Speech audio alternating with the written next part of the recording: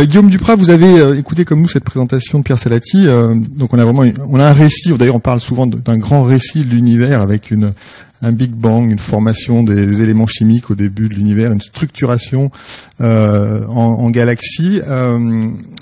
Qu'est-ce qui, qu'est-ce qui, pour vous, qui êtes cosmographe et qui avez donc recensé les, les, cosmologies dans les différentes époques et différentes cultures, rapproche ou au contraire distingue radicalement notre modèle cosmologique des modèles que vous avez pu euh, euh, approcher.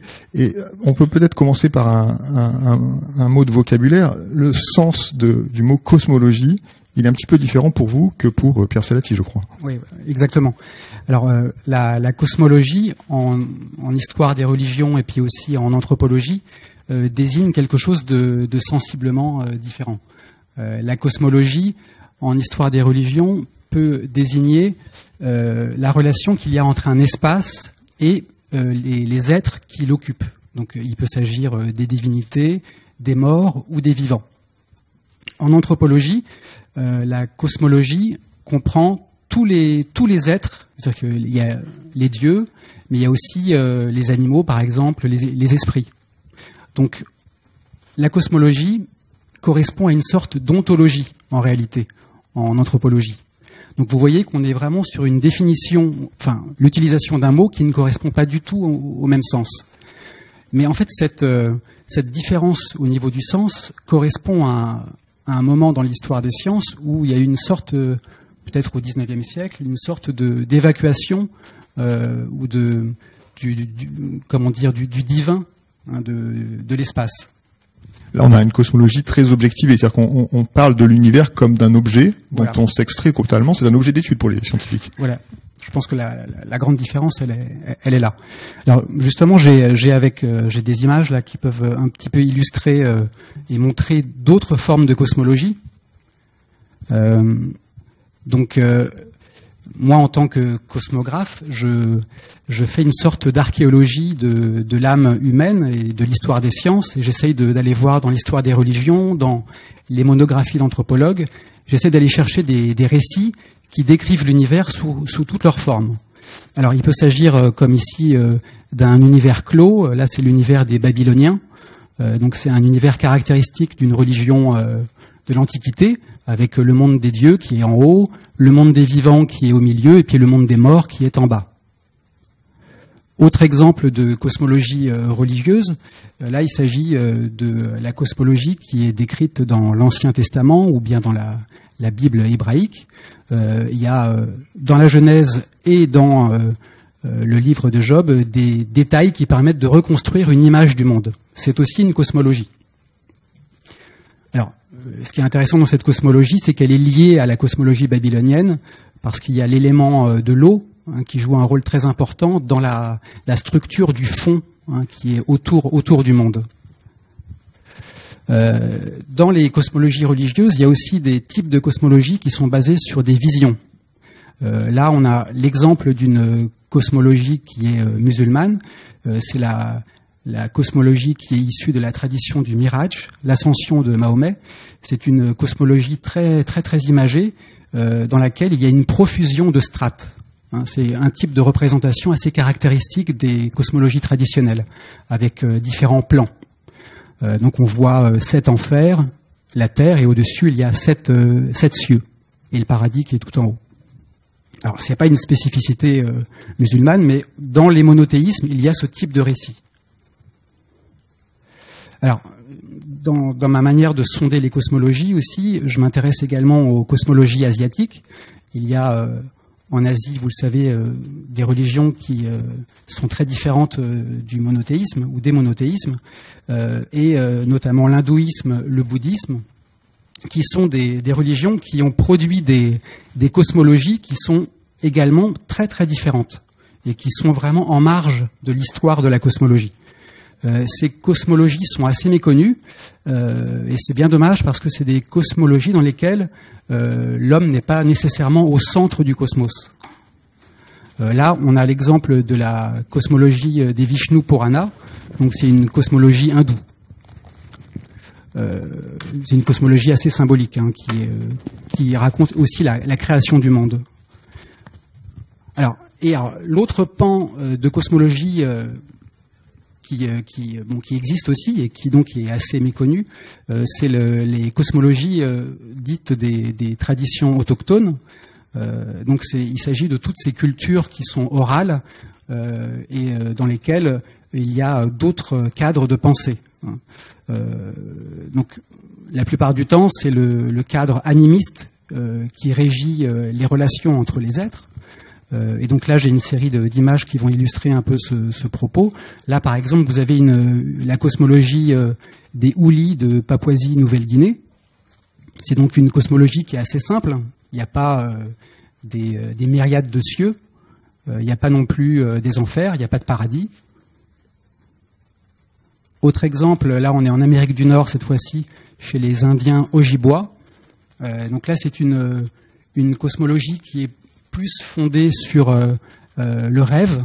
donc il y a quelques cosmologies, c'est valable aussi en, Australie, quelques cosmologies comme ça qui se focalisent sur l'invisible et plus particulièrement sur les relations avec les êtres qui sont rencontrés lors des rêves. Donc ça, ce sont des types de cosmologie qui, euh, sont très euh, dynamiques et qui, euh, enfin, qui, présentent aussi des, espaces un peu paradoxaux.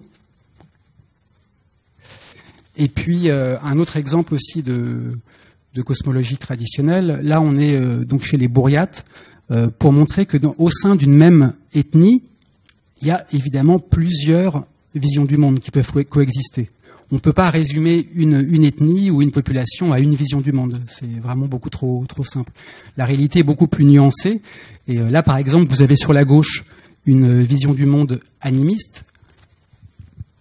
Donc, dans un cadre, euh, c'est une population qui vit en forêt. Euh, et à droite, vous avez une population bourriate également, mais avec une, une influence de la religion bouddhiste.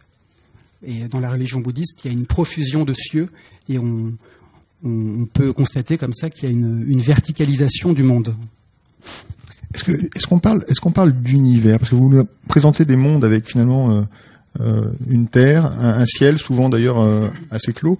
est-ce que la notion d'univers, voire d'espace infini, a surgi dans les cosmologies que vous avez étudiées?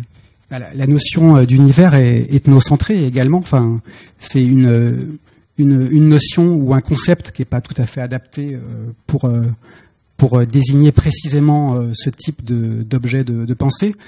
Je pense que la, meilleure manière de les désigner, ce serait d'utiliser ciel-terre. Parce que si on prend par exemple le, cas de la cosmologie égyptienne, il n'y a pas de concept d'univers. Le concept d'univers, c'est ciel-terre. dans des cadres traditionnels également, euh, le concept d'univers, de totalité, n'est pas, euh, n'est pas quelque chose qui ressort. La plupart du temps, il y a une, euh, distinction entre le ciel et la terre. Du point de vue de l'illustrateur, vous, alors vous nous avez présenté des, des, des, mondes qui sont assez, merveilleux. On sent, enfin, ils sont très beaux d'abord, très bien dessinés, puis on sent une imagination profonde et très variée. la, notre cosmologie à nous finalement, notre récit de l'univers tel qu'il a été présenté par Pierre Saletti avec ce voilà ce, ce, ce moment euh, de création d'une certaine manière, cette expansion euh, et cette structuration de, de, la, de la, matière, est-ce qu'il vous paraît euh, plus plus riche, plus pauvre que ceux que vous avez euh, étudiés du point de vue de l'imaginaire? Quel regard portez-vous sur notre notre hmm. cosmologie? Bah, du point de vue de l'imaginaire, moi je fais pas de, de hiérarchie. Enfin, j'ai aucune aucune hiérarchie. Euh, pour moi, euh, tous les tous les imaginaires euh, se valent. par contre, c'est pas le même cadre de pensée. Voilà.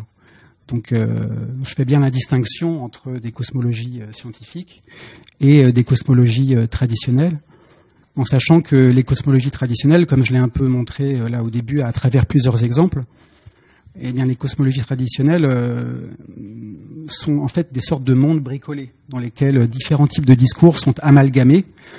Là, c'est le cas sur ce, monde-ci, par exemple, où en fait c'est un, monde dans lequel coexiste un paradis pour les chamans, qui correspond donc aux, 54 cieux qui sont à gauche, 55 euh, cieux qui sont à gauche et 54 cieux qui sont à droite, et il y a un paradis pour les lamas, et il y a également un enfer. Donc c'est une des caractéristiques des cosmologies traditionnelles, c'est de, c'est que ce sont euh, des objets hybrides. Voilà. Vous pouvez juste nous, détailler un tout petit peu plus cette, cette image, les, les, 54 yeux dont vous parliez, cette espèce de, de alors d'oreilles blanches. Euh, voilà ça. Alors là, c'est une. Vous avez la, la Terre qui est en bas à gauche. Il y a un lien qui relie la Terre à un espace qui est invisible normalement. Donc cet espace invisible est découpé en deux parties. La partie gauche, ce sont les 5, 55 cieux, et la partie droite, les 44. Il y a donc 99 cieux euh, qui sont destinés à différents types de chamans. Et euh, il y a une pierre noire que vous distinguez au milieu, qui, correspond à, un endroit où vivent des divinités qui répartissent euh, bah les, morts euh, et, les, chamans euh, dans des lieux différents. En fait, la plupart du temps, dans les cosmologies traditionnelles, l'invention d'un espace, elle est reliée à l'existence d'un type d'être. C'est donc une, forme de, grille ontologique qui, est toujours cachée derrière les, cosmologies traditionnelles.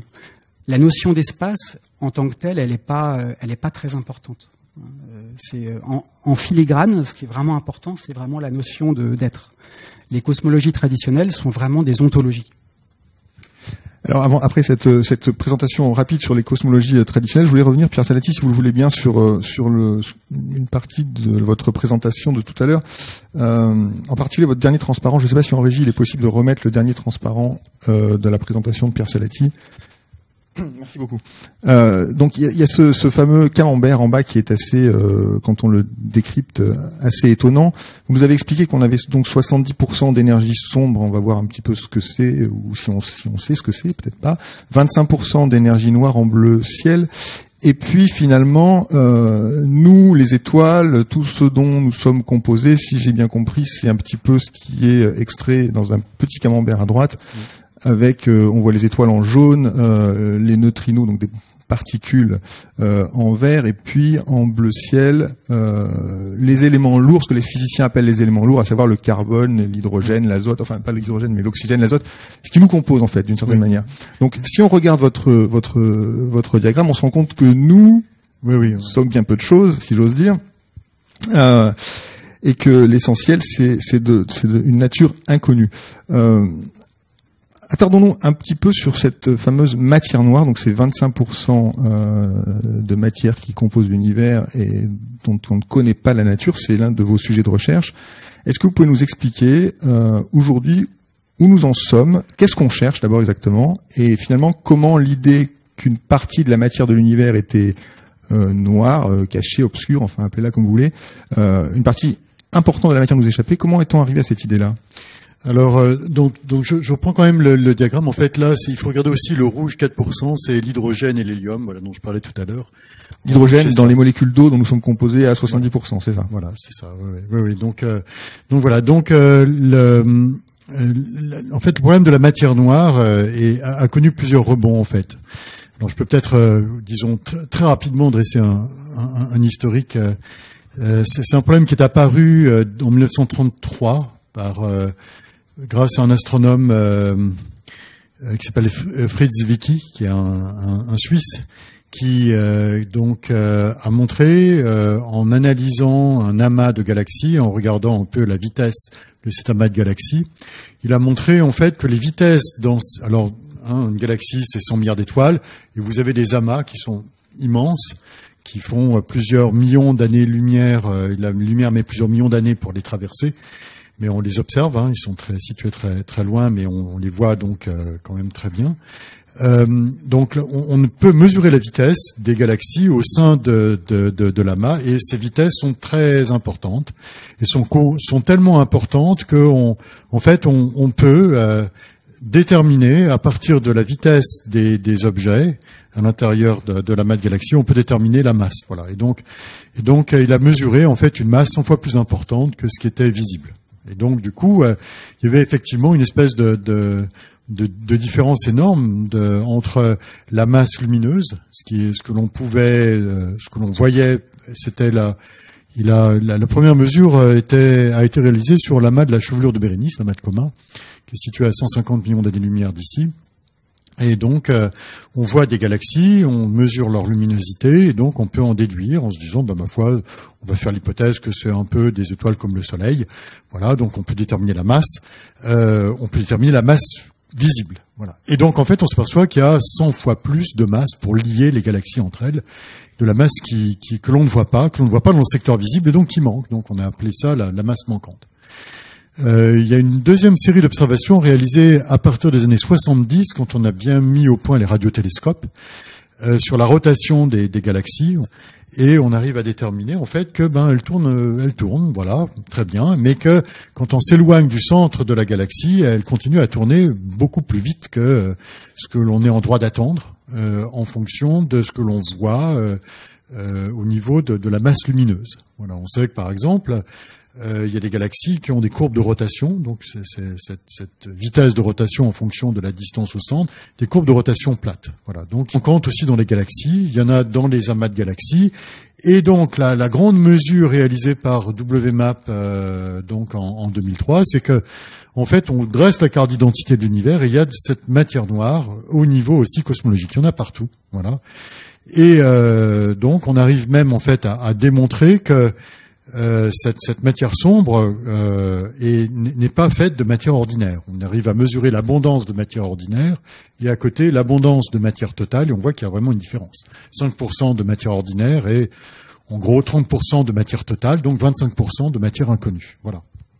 Et, et donc là, c'est cette mesure du fond de rayonnement cosmologique, cette carte d'identité permet en fait vraiment de, déterminer que la, matière noire existe au niveau cosmologique, à toutes les échelles au fond, et qu'elle est de nature inconnue. Alors depuis une trentaine d'années, les théoriciens, euh, astrophysiciens et physiciens des particules ont imaginé euh, qu'il puisse y avoir euh, des, candidats à cette matière noire provenant en fait du, monde ou du, l'imaginaire, si j'ose dire, de la physique des particules, euh, parce qu'en fait, on sait que euh, on, a un très bon modèle à l'heure actuelle pour expliquer le monde de l'infiniment petit, pour expliquer donc les particules élémentaires, mais euh, ce modèle-là n'est pas euh, probablement la fin de l'histoire. Et donc, euh, on peut essayer d'imaginer des standards de la physique des particules. Et dans ces extensions du modèle standard de la physique des particules, existent euh, des, des candidats à la matière noire qui arrivent assez naturellement, des particules qui seraient produites dans l'univers euh, vraiment primordial, lorsque l'univers est âgé cette fois de quelques microsecondes ou nanosecondes, qui seraient produits avec l'abondance qui, est observée. Les, physiciens des particules se sont intéressés depuis une trentaine d'années à ce problème de la matière noire et, en fait, les observations de WMAP confirment bien que la matière noire est de nature exotique. Donc en fait, on sait euh, par des mesures du mouvement des galaxies qu'il y a de la masse qu'on doit. J'ai bien compris ce que vous avez dit. On sait aussi que ce ne sont pas des étoiles ou des planètes, parce que je crois qu'on a fait cette recherche-là dans les années 90 Absolument, et on a trouvé qu'il n'y avait pas de planètes euh, ou d'étoiles euh, qu'on ne pouvait pas voir. Enfin, on, on, a ce recensement, il est correct, le recensement d'étoiles et des planètes. Donc on se tourne maintenant vers la physique des particules en disant peut-être que les physiciens théoriciens vont nous sortir du chapeau en quelque sorte, mais pas tout à fait du chapeau quand même, euh, un candidat, une particule qu'on ne connaît pas encore et qu'on pourrait détecter. Et je crois qu'en ce moment, il y a beaucoup d'expériences euh, sous la Terre, euh, au-dessus de la Terre, euh, et même dans les, dans les accélérateurs de particules, qui traquent, qui cherchent cette matière noire, mais qui n'ont pas trouvé. Non, non, non, non, non, effectivement. Donc c'est quand même depuis 1985, donc depuis 30 ans, les, les, les mes, mes, collègues et, et, moi en fait, hein, je, participe, je participe à cette recherche. On essaye de, de, de, de trouver euh, la matière noire sous forme de ces particules euh, hypothétiques. Hein, ce seraient des particules qui ressemblent à des espèces de, de gros neutrinos. Euh, voilà, si, si euh, nous Qu'est-ce que c'est qu'un neutrino? Alors le neutrino, c'est une c'est une particule euh, qui est assez évanescente, qui est neutre, qui dont on sait maintenant qu'elle a vraiment une, une, masse et qui a des interactions vraiment très faibles. C'est une particule qui est vraiment nécessaire dans la, les interactions qui transmutent neutrons et protons. On appelle ça des interactions faibles. Euh, le noyau de l'atome est constitué de neutrons et de protons, et quand un neutron se désintègre en proton, il va émettre euh, euh, un électron et aussi euh, un neutrino, en fait un antineutrino. Voilà. Donc une particule très difficile à saisir. Oui, oui, oui. Il faut, il faut un mur de plomb de plusieurs années-lumière d'épaisseur pour arrêter les neutrinos. À l'heure actuelle, par exemple, les neutrinos émis au cœur du Soleil nous traversent à raison de 10 milliards de neutrinos par centimètre carré de votre peau, et voilà, on est traversé sans, sans cesse par, par ça. Et alors, si la matière noire était constituée de ces espèces de neutrinos lourds qu'on appelait neutralinos, voilà, qui sont encore hein, des particules qu'on recherche, hein, bien il en existerait euh, une par litre et elle nous traverserait en ce moment euh, avec des vitesses de 300 km par seconde. Alors cependant, donc, elle laisse quand même des traces, euh, soit dans des détecteurs terrestres, donc ça c'est la détection directe, on essaye de jouer à la pétanque avec ces particules de matière noire. On essaye de voir des, mouvements de recul des noyaux. Donc ça, c'est une voie de recherche qui s'appelle la détection directe. Donc il faut s'affranchir quand même du bruit de fond constitué par la radioactivité ou créé par les rayons cosmiques. Donc il faut aller chercher du plomb archéologique euh, qui a eu le temps d'être moins radioactif pour constituer les détecteurs, s'enterrer donc sous les montagnes, etc. Donc ça c'est la voie de détection directe. Ça c'est la recherche des neutrinos. Voilà. Mais la recherche de matière est encore plus complexe. Euh, non, ça c'est aussi la recherche de matière noire qui s'effectue donc sous terre, comme ça. Ensuite, si cette matière noire est faite de, comme l'on pense, on le pense, de, particules euh, de neutralinos, ces neutralinos s'annihilent, vont produire en fait euh, de l'antimatière et cette antimatière va se rajouter à celle qui est produite, mais de façon en très faible quantité, et on devrait voir en fait effectivement de l'antimatière dans le rayonnement cosmique en abondance, ou en tout cas des anomalies dans le rayonnement cosmique. Donc c'est vraiment ça ce, sur quoi je travaille vraiment en fait. Alors, il y a quelques années au CERN, on a lancé un, le LHC, donc un grand collisionneur de particules euh, qui, a, qui a coûté euh, pas mal de milliards et qui a d'ailleurs réussi à, à, à oui, quand même. Le prix de combien? 10 rafales, je crois. 10 rafales, d'accord. Parlons en rafales. Euh, en tout cas, il a servi à quelque chose, puisque le boson de Higgs, on a peut-être entendu parler, ça a défrayé la chronique. C'est découvert c'est une de ces particules prédites par le fameux, modèle standard, et donc confortant la validité du modèle standard. Mais le LHC, on l'attendait aussi euh, pour éventuellement détecter cette fameuse matière noire, et pour l'instant, ça n'a pas fonctionné. Non, non, disons qu'effectivement, donc le LHC, dont le coût est de 3 milliards d'euros, hein, je crois, mais enfin, ça ne compte pas le salaire euh, des chercheurs, etc., c'est vrai, euh, a, fonctionne, et euh, donc c'est vraiment une, une, machine de découverte dans laquelle en fait on va explorer si euh, il y a de la, enfin si quelles sont les lois de, de la physique des échelles euh, encore jamais atteintes, des petites échelles euh, physiques et également des, des, des échelles d'énergie qui vont jusqu'à mille fois ou dix mille fois l'énergie du proton. Voilà. Donc euh, le LHC déjà l'annonce a été réalisée le 4 juillet euh, de, 2012. Pourquoi le 4 juillet? Bon, euh, c'est une machine européenne. Hein, bon, euh, donc euh, qui, qui a découvert le, le, le, boson de Higgs. Donc ça, c'est vraiment la brique manquante du modèle standard. On a découvert le boson de Higgs. C'est une très très grande découverte et on espérait effectivement tester, disons, des, des, des modèles théoriques qui qui sont des extensions naturelles en fait euh, du modèle de la physique des particules, et notamment cette fameuse supersymétrie qui prédit l'existence de ces particules de matière noire. Et pour l'instant, force est de constater que euh, ben on n'a rien vu pour l'instant. Voilà. On a eu un frémissement en décembre dernier. On a cru voir quelque chose qui aurait une masse de 750 fois la masse du proton. Un certain nombre de mes collègues ont, cru que c'était arrivé. Voilà, on avait trouvé ces, fameux neutralinos, ces fameux particules de matière noire, et malheureusement, en fait, euh, ce n'était qu'une fluctuation statistique.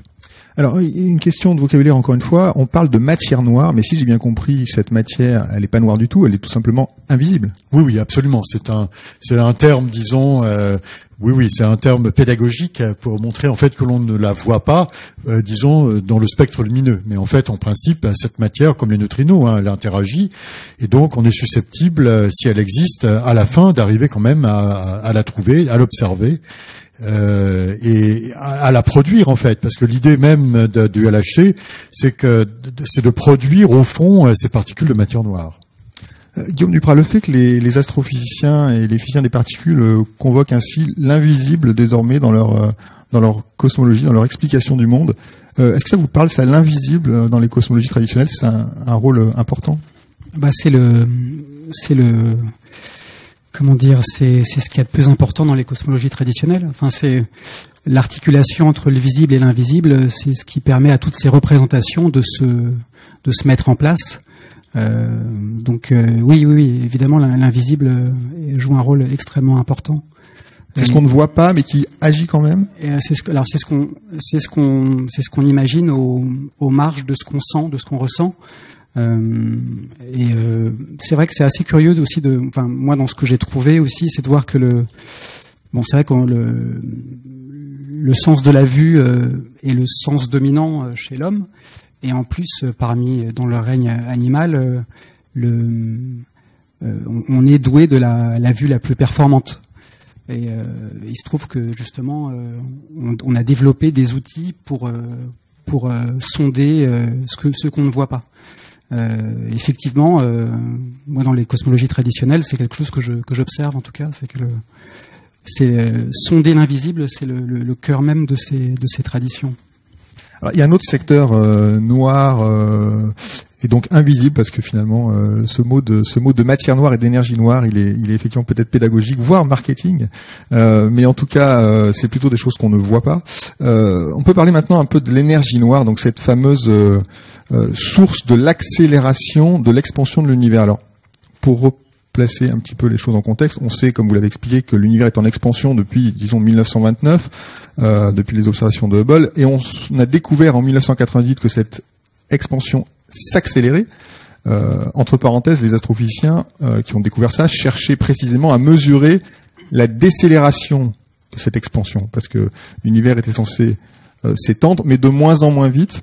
Or, ils ont trouvé exactement l'inverse, donc ils ont été évidemment les premiers surpris, mais belle surprise puisque ça leur a valu effectivement le prix Nobel. Euh, un univers en expansion. Euh, est-ce que c'est parmi les cosmologies que vous avez présentées, je, je n'ai pas encore vu ça. Est-ce que c'est quelque chose que vous avez déjà rencontré? Alors justement, c'est les, qualités d'expansion et d'accélération. Euh, c'est vraiment une singularité, on peut dire, dans l'histoire des cosmologies. Moi, j'ai trouvé là deux, trois, trois types de cosmologie où il y a quelque chose d'un peu équivalent, si on peut basculer sur l'autre, l'autre PowerPoint. Voilà. Euh, on a là euh, trois, trois types de récits qui sont fondés sur euh, une idée d'expansion, mais évidemment, c'est pas exactement la même chose. Mais on a euh, différents mondes qui se succèdent. Là, on est euh, chez les Indiens Hopi, euh, et il y a une succession de quatre mondes qui sont, euh, euh, enfin, qui aboutissent au monde d'aujourd'hui. On a un monde un peu équivalent, voilà, chez les Indiens Navarro. C'est une, ethnie indienne d'Arizona qui, justement, ils sont voisins des Hopis. C'était des ennemis, mais ils partageaient des éléments communs dans leur cosmologie. Et les Indiens euh, Navarro, ont, enfin en tout cas l'anthropologue qui a travaillé sur euh, leur cosmologie, euh, Gladys Richards, parle de, de, de, de, monde en expansion. Mais évidemment, encore une fois, il ne s'agit pas du, de la même, du même type d'expansion. Vous pouvez nous décrire un petit peu cette figure euh, euh, Quels sont ces différents mondes qu'on voit? Parce qu'apparemment, il y en a un seul sur lequel on voit des, des montagnes, euh, quelque chose qui pourrait ressembler à la Terre. Alors le, là, le, le monde que l'on voit au centre, c'est donc le, monde euh, des, le monde actuel, et les quatre mondes qui sont dessous sont les, les mondes qui ont euh, précédé. En fait, c'est un schéma cyclique euh, et qui est un type de schéma qu'on retrouve souvent dans les cosmologies euh, mésoaméricaines et qu'on retrouve même chez les Mayas et les Aztèques ce qui est intéressant aussi sur cette, cette idée d'un univers en expansion, euh, Pierre Salati, euh, vous me contredirez si je dis des bêtises, mais enfin c'est qu'il a quand même mis du mal à s'imposer, euh, puisque euh, donc on est dans un cycle qui parle de la théorie de la relativité générale d'Einstein. Il faut savoir que le premier modèle cosmologique, euh, c'est Einstein lui-même qui l'a proposé cosmologique scientifique, euh, évidemment celui dont on parle aujourd'hui. C'est Einstein qui l'a proposé en 1917 sur la base de, ses, euh, de sa théorie de la relativité générale. Et ce qui est intéressant, c'est que euh, d'une certaine manière, il n'a pas cru à ses propres équations, puisque ces équations lui disaient, alors que, que diraient les équations si elles pouvaient parler, comme dirait Étienne Klein, mais ces équations lui disaient en quelque sorte que l'univers était soit en expansion, soit en contraction, en tout cas pas stable. Et Einstein a introduit un terme pour garantir la stabilité, un terme mathématique pour garantir la stabilité de son univers. Euh, c'est intéressant parce que ça veut dire que finalement, euh, il était lui aussi euh, pétri d'une culture, en tout cas de, présupposés métaphysiques qui voulaient que l'univers devait être statique. Ça, Guillaume Duprat, ça vous parle? Est-ce que c'est notre culture occidentale qui veut ça, l'idée d'un univers statique? Ah Oui, alors là, c'est un, une notion qui est intéressante parce qu'il y a beaucoup de, préjugés. On a l'impression que dans les cosmologies pré-coperniciennes ou dans les cosmologies traditionnelles, il est souvent question d'un univers statique. Alors c'est à la fois vrai et puis c'est faux. Euh, dans le, les cosmologies euh, pré-coperniciennes, si on, on, reprend le fil de l'histoire des sciences et si on remonte un petit peu au temps de la cosmologie présocratique, donc euh, avant Socrate, donc chez les Grecs, on a effectivement des modèles de, de cosmologie dans lesquels il y a une réflexion sur la nature du monde, et cette euh, réflexion sur la nature du monde va aboutir à euh, mettre en avant un élément qui va euh, structurer l'ensemble de l'univers. Et ensuite, il va y avoir une sorte de stabilité de l'univers qui va, à part chez Héraclite, mais il y a une stabilité qui va, qui va garantir en tout cas le fonctionnement du monde. cette idée, elle va perdurer. Et je vais avoir des images. Voilà. Donc là, par exemple, euh, vous avez euh, la cosmologie euh, d'Anaximandre, qui est donc un présocratique, et qui, lui fonde sa cosmologie sur un élément invisible qui est l'indéfini, l'apeiron, et qui et qui propose un univers qui n'est pas cyclique, hein, qui, est un, univers assez stable. vous avez ensuite, par exemple, Platon, qui propose également un univers euh, qui, lui, va être euh, fondé sur une forme géométrique parfaite, qui est la sphère. C'est un monde qui est euh, fabriqué par un démiurge, mais qui est régi par des, lois, mathématiques. ce monde est stable également. Et je vais arriver au monde d'Aristote, qui est on va dire, l'archétype un petit peu du monde statique dans l'histoire euh, de la cosmologie euh, qui précède euh, Copernic, puisque c'est ce monde d'Aristote qui va, avec le monde de Ptolémée, qui va influencer les cosmologies qui sont juste avant, avant Copernic. Là, on est vraiment dans un cadre effectivement de, pensée qui est, qui est, qui est statique. Alors, je voudrais juste ajouter quelque chose. là, on, est dans un fil historique très particulier. Euh, si on, se décale un petit peu et si on regarde un peu ce qui se passe euh, en Asie ou encore dans des cosmologies euh, dites, enfin des, traditions autochtones, la notion d'univers statique est totalement différente. C'est-à-dire que la plupart des anthropologues qui décrivent des univers dans des sociétés animistes, par exemple, utilisent très très souvent le terme dynamique. Donc c'est intéressant de voir que, contrairement à ce qu'on pourrait imaginer, euh, ce ne sont pas des univers euh, statiques.